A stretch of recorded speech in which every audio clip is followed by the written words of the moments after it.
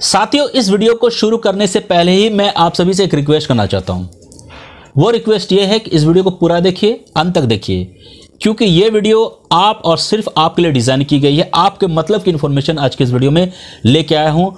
ये वीडियो पूरा देखने के बाद आप ज़रूर कहेंगे, वाओ! क्योंकि एक ऐसी इन्फॉर्मेशन जो कहीं ना कहीं आपके मतलब की होगी, उन सभी स्टूडेंट के लिए जो यूपीएससी की तैयारी कर रहे हैं। दोस्तों, आपको पता है UPSC is one of the toughest examination और हर साल लाखों स्टूडेंट इसमें अपेयर होते हैं, लेकिन बहुत कम ही ऐसे भागशाली स्टूडेंट होते हैं जो यूपीएससी क्लियर करते हैं। लेकिन वैसे स्टूडेंट जो क्लियर नहीं कर पाते, उनका क्या?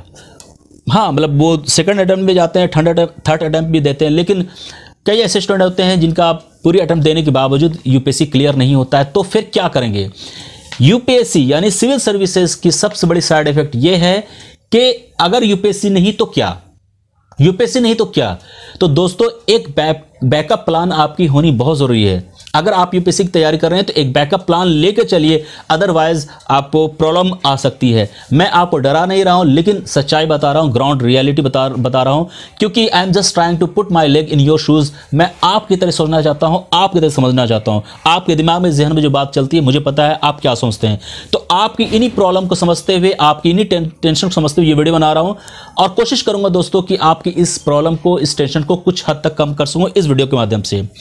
जैसा कि आप सभी जानते हैं दोस्तों यूपीएससी आप यूपीएससी मतलब यूपीएससी थ्रू जो आपके सीई e, मतलब सिविल सर्विसेज़ एग्जामिनेशन होती है उसमें I S I F S I R S जैसी कम पोजिशन मिलती है। इस इसके अलावा और भी बीस बाईस होंगे। मतलब टोटल चौबीस पोजीशन होती है। Basis of your rank basis of your जो कैडर मिलती है वो होती है। आपके मार्क्स हिसाब से आपको वो रैंकिंग मिलती है वो पोजिशन मिलती है।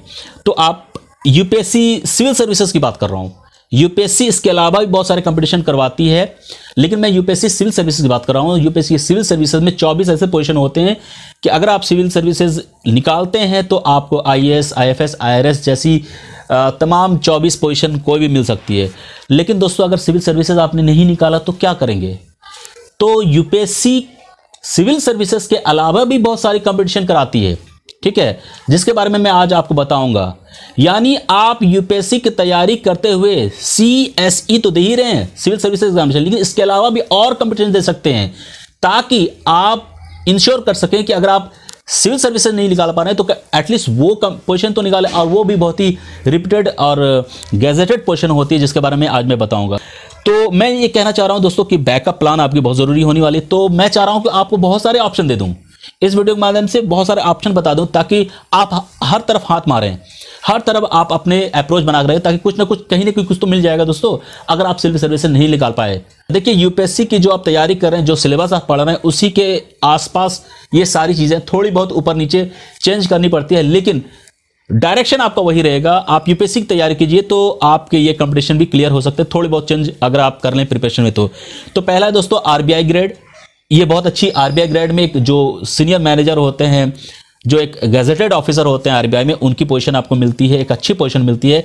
तो आरबीआई ग्रेड की पोस्ट के लिए अभी आप अप्लाई कर सकते हैं। उसके बाद है यूपीएससी ईपीएफओ ईपीएफओ एओ और ईओ जो कि एक बहुत अच्छी पोजीशन आती है। ये यूपीएससी कंडक्ट कराती है दोस्तों। यानी इन्फोर्समेंट ऑफिसर जो होते हैं उनकी पोजीशन मिलती है यूपीएससी ईपीएफओ के थ्रू और ये बहुत ही गजेटेड बहुत ही आ, अच्छी पोजीशन होती है, जो कि काफ़ी काफ़ी स्टूडेंट यहाँ पे हैं जिनको मैं जानता हूँ और एक अच्छी पोजीशन यहाँ मिल जाती है। तो आरबीआई ग्रेड के बाद दोस्तों, यूपी, यूपीएससी, ईपीएफए हो गया। उसके बाद मैं बात करूँगा IB intelligence bureau intelligence bureau वैसे तो दोस्तों ये यूपीएससी में नहीं आता होम होम अफेयर्स मिनिस्ट्री इसको कंडक्ट करती है, लेकिन यूपीएससी की जो आप प्रिपरेशन कर रहे हैं, जितनी भी जनरल स्टडीज़ वगैरह पढ़ेंगे, सारी चीज़ें आपकी आईबी की जो आप टेस्ट देंगे, उसी में आ जाएगा। तो यूपीएससी की तैयारी करते हुए आप इंटेलिजेंस ब्यूरो की जो टेस्ट होती है इंटेलिजेंस ब्यूरो में जो पोजिशन निकलती है उसके लिए भी अप्लाई कर सकते हैं। तो दोस्तों आरबीआई ग्रेड हो गया यूपीएससी ईपीएफए हो गया, उसके बाद इंटेलिजेंस ब्यूरो उसके बाद है दोस्तों Kaif C A P F central armed police force examination जिसके अंदर आता है BSF CRPF SSB CISF ITBP ये सारे इसमें असिस्टेंट कमांडर आप बनते हैं। इसमें आप असिस्टेंट कमांडर बनते हैं, ये भी यूपीएससी कंडक्ट करता है और ये एक बहुत अच्छी रिपीटेड पोजीशन मानी जाती है डिफेंस में जो हमारी सिक्योरिटी है, उसमें बहुत अच्छी पोजीशन इसमें आपको एज ए असिस्टेंट कमांडर की पोस्ट मिलती है। तो ये एक बहुत अच्छी पोजीशन है।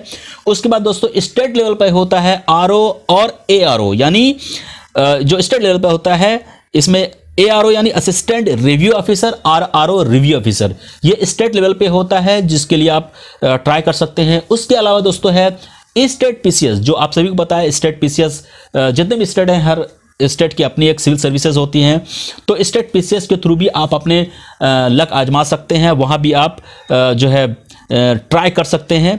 उसके बाद दोस्तों वो है S S C C G L देखिए S S C C G L थोड़ा सा डिफरेंट डिफरेंट हो जाता है। और ये एस एस के थ्रू हो रहा है, लेकिन जो आप तैयारी कर रहे हैं यूपीएससी की कहीं ना कहीं ये कनेक्टेड है वहाँ पे भी। थोड़ी सी सिलेबस अलग है, वैसे स्टूडेंट जो रीजनिंग मैथमेटिक्स वगैरह में ज़्यादा इंटरेस्ट है तो एस एस सी की एस एस में भी आप जो है ट्राई कर सकते हैं। देखिए, कहने का मतलब ये है कि यूपीएससी के थ्रू जो भी आपको क्वेश्चन मिलेगी चाहे आपके सेंट्रल सेक्रेटरीट में हो या फिर स्टेट सेक्रेटरीट में हो या एडमिनिस्ट्रेटिव डिपार्टमेंट में हो, उसमें जो आपके असिस्टेंट बनते हैं, आपके नीचे जो पोजीशन होती है, वो एस एस क्लियर करके ही स्टूडेंट वहाँ जाते हैं। तो अगर आप असिस्टेंट किसी के बनते हैं तो कल को आप जो एक पोजीशन यूपीएससी के थ्रू मिलती है किसी एस्पेरेंट को उस पोजीशन पे भी आप जा सकते हैं कुछ दिनों बाद। ये सारी चीज़ें हैं जो आप कर सकते हैं। ये सारी चीज़ें हैं जो आप में एक कैपेबिलिटी है। आप यूपीएससी की तैयारी कर रहे हैं। यूपीएससी की तैयारी करना आसान नहीं होता है। जो स्टूडेंट यूपीएससी निकाल लेते हैं, उनकी तो बात ही अलग, लेकिन जो बच्चे नहीं निकाल पाते हैं, इसका मतलब ये नहीं कि आपको नॉलेज नहीं है। आपको नॉलेज है, लेकिन लक की बात है, आपके यूपीएससी क्लियर नहीं हुए। तो आपकी जो एक्सपर्टीज है, आपकी जो नॉलेज है, उसको आप दूसरे कंपटीशन निकाल दी, निकाल सकते हैं जो इसी लेवल की चल रही है। यानी यूपीएससी की तैयारी करते हुए आप जो है यू आरबीआई ग्रेड के पोजीशन उसको निकाल सकते हैं। यूपी यूपीएससी ईपीएफओ निकाल सकते हैं। इंटेलिजेंस ब्यूरो ब्यूरो की कंपटीशन निकाल सकते हैं। असिस्टेंट कमांडर बन सकते हैं आप सी ए पी एफ़ में। इसके अलावा दोस्तों आर ओ ए आर ओ हो गया, उसके बाद S S C C G L हो गया, और सारे स्टेट पी सी एस हो गए। ये एक आपके पास एक ब्रॉड अपॉर्चुनिटी है आप सभी के सभी के पास और आप सभी को इन सभी अपॉर्चुनिटी का फ़ायदा उठाना चाहिए। आप अपने करियर को इंश्योर कीजिए कि कहीं ना कहीं आपकी पोजिशन सेट हो जाए। देखिए, अगर आप यूपीएससी की तैयारी कर रहे हैं तो अगर आप स्टेट पीसीएस या जो भी मैंने बताया उसमें से कोई भी एक पोजीशन आपको मिल जाती है, एक बार आप सेट कर जाइए, एक बार आपका जो है एक करियर को लेके जो आपकी टेंशन चल रही है, वो अगर पूरी हो जाए, कोई भी एक पोजीशन मिल जाए, उसके बाद आप खुल के यूपीएससी की तैयारी कर सकते हैं। तो यूपीएससी की तैयारी करते हुए इन सारे कंपटीशन पे भी आपको फोकस करना है। और मैं आपको इस वीडियो के साथ इस वीडियो के माध्यम से भी ये मैं आपको इंश्योर कर रहा हूँ कि अगर आप इन सब में भी, इन सभी पे आप अगर फोकस करेंगे, अगर इन सभी पे आप ध्यान देंगे तो आप इसको भी क्लियर कर सकते हैं। और ये कहीं ना कहीं यूपीएससी से थोड़ा नीचे ही है ये, इनकी पोजीशन इनके क्वेश्चन जो है, इनके क्वेश्चन के जो पैटर्न है यूपीएससी से कम ही होते हैं। यूपीएससी तो बहुत टफ कंपटीशन है तो उसके अंदर आती है ये सारी चीज़ें। जब आपको एक बैकअप प्लान मिल जाएगा तो आपको एक ऑटोमेटिकली कॉन्फिडेंस पैदा होगी और आप यूपीएससी की तैयारी खुल के कर सकते हैं और ऐसा काफ़ी स्टूडेंट करते हैं दोस्तों। ऐसा काफ़ी स्टूडेंट करते हैं। मैं फिर से बताने की कोशिश कर रहा हूँ यूपीएससी की तैयारी करते हुए इन सब कंपटीशन को भी लेकर चलिए। इसमें से कोई ना कोई आपको मिल जाएगा। आपको बहुत सारी अपॉर्चुनिटी तैयार रखनी चाहिए। सिर्फ़ एक यूपीएससी पे आप डिपेंडेंट ना रहें। और अगर आप ऐसा करेंगे तो दोस्तों, आप ध्यान रखिए इस बातों की, आपकी जो बैकअप प्लान की जो प्रॉब्लम है इशू है, वो कहीं किसी न किसी हद तक कम हो सकती है और अपने करियर को लेकर आप खुद को इंश्योर कर सकते हैं कि आपको क्या करना है।